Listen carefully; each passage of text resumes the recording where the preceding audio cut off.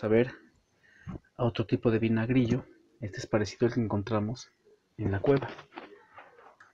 Vamos a tratar de agarrarlo sin lastimarlo. Se nos fue.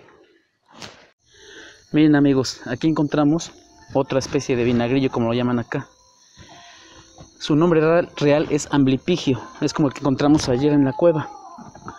Aquí vamos a ver el animalito, es, un arácnido también. Aquí vamos a ver sus tenazas, con las cuales caza a sus presas.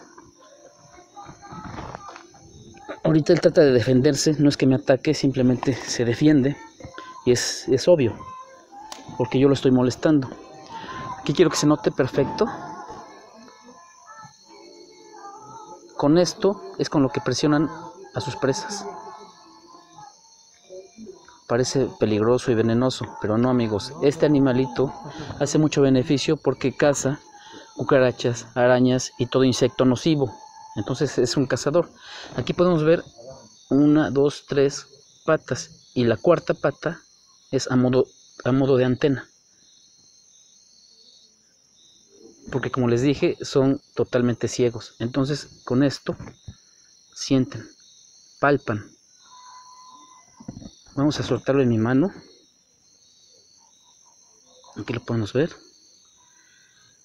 Como se dan cuenta, no me ataca. Ni tendría por qué hacerlo. Puede correr ahorita muy rápido. Ellos caminan de lado. No caminan de frente. Aquí vemos sus patitas como antenas. Aquí él está sintiendo. Vean me está palpando. Pero como vemos no hace nada. Es muy rápido, eso sí es muy rápido. Pero pues no hace nada. Entonces, que quede claro amigos, no son animales a los que debamos matar. Son benéficos a pesar de su aspecto. No hacen nada, son inofensivos totalmente. Y pues vamos a tener que despedirnos de él. Bueno amigos, ahorita lo voy a liberar. Para la próxima vamos tal vez a liberar un tigrillo pero ya será mucho después. Entonces, pues, díganle adiós. Y recuerden, no hacen nada, no matan, no pican tampoco. Bueno amigos, nos despedimos. Vamos a ver amigos este precioso animal.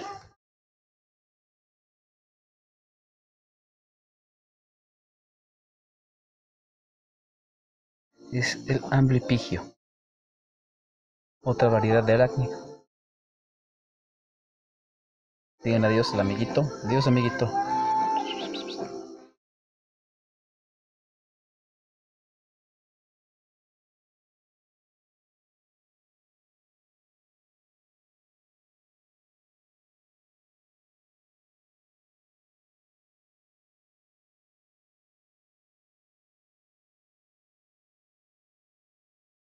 Miren amigos, aquí tengo un vinagrillo en la cara.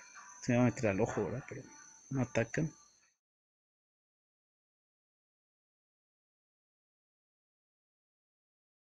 Es mi pequeño amigo, mi mascotita. ¿Estás bien?